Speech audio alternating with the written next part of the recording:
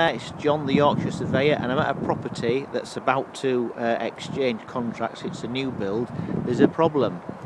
Look, the water's not even connected up and they were wanting to go in and uh, sign over. I found over a hundred things wrong with this new built property. Uh, get a snagging list. It pays to pay a professional.